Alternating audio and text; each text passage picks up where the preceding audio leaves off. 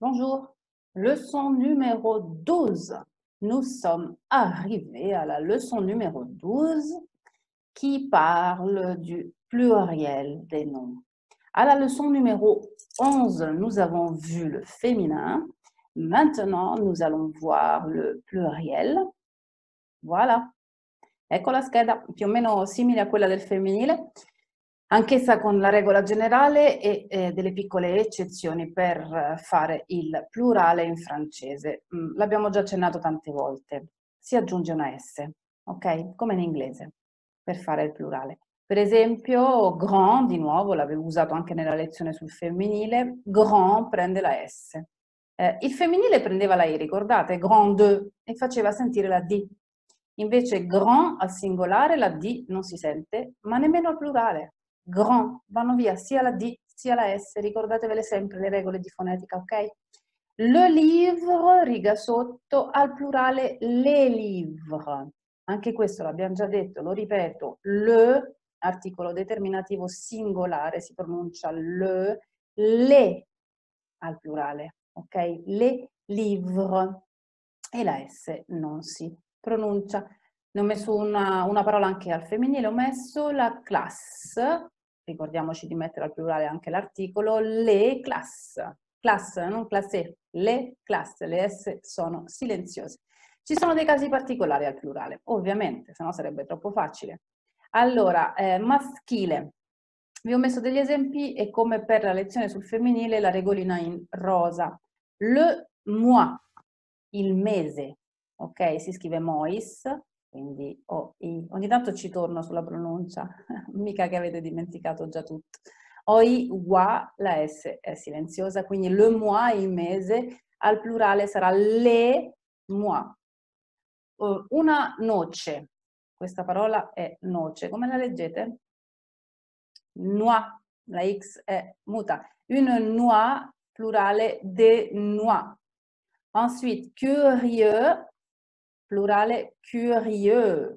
Non confondetevi col femminile, ricordate che era curieuse il femminile, qua è plurale. Eh, il naso, un naso, un nez, plurale, ho messo anche gli articoli chiaramente al plurale, tanto per fare tanti esercizi in uno. De, ne. Qual è la regola che si evince da tutto ciò? È questa. Se il singolare termina con una S, una X o una Z, il plurale resta invariabile, rimane uguale. Vedete, si scrivono tali e quali le parole. Mese, mesi, noce, noci e via di seguito. Ok? Quindi la regola da tenere a mente è questa. Seconda regolina. Un animal, un animale, al plurale diventa des animaux. A U, O, X, non si sente. Animaux. Un journal, un giornale, des journaux. Qual è la regola? Eccola. Se il singolare termina con al, che l'ho messa in rosa, il plurale, questo al, si trasformerà in aux, aux, animal, animaux, journal, journaux, per esempio. Cheval, mi viene in mente cavallo, chevaux, eccetera. Altra regolina. Allora, la terza, eh? terza e ultima, ce la facciamo. Queste parole qua. Un tuyau è un tubo, le feu è il fuoco, le cadeau è il regalo, nouveau vuol dire nuovo. Guardate cosa capita. Un tuyau diventa des tuyaux. Le feu diventa les feux. Le cadeau diventa les cadeaux. Nouveau diventa nouveau. Quindi praticamente la pronuncia è sempre uguale, tuyau, tuyau, feu, feu, cadeau, cadeau, nouveau, nouveau. Mm? Ma anziché la S, queste parole, se terminano con AU, EU oppure EAU, il plurale prend, al plurale prendono una X. Ok? Tra l'altro, le feu, come dicevo poco fa, si pronuncia feu anche di qua. Quindi come si fa nella lingua parlata a capire se una parola è singolare o plurale se alla fine si pronunciano nella stessa maniera, eh, grazie all'articolo, come vi dicevo prima, grazie anche ai verbi probabilmente, però le feu singolare, les feux plurale, mm?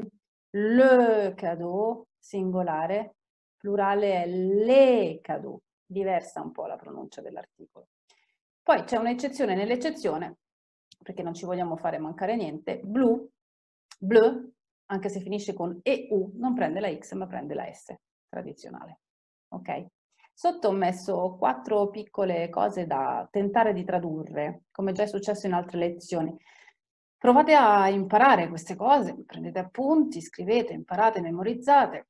Poi in lezione anche delle parole nuove in più, no? Per arricchirci un pochino. Animal, non sapevamo sin qui che si diceva animale, che si diceva animal, giornale non sapevamo che si diceva journal, fuoco non sapevamo che si diceva feu, eccetera. Quindi studiate, copiate, imparate e provate poi a mettere al plurale.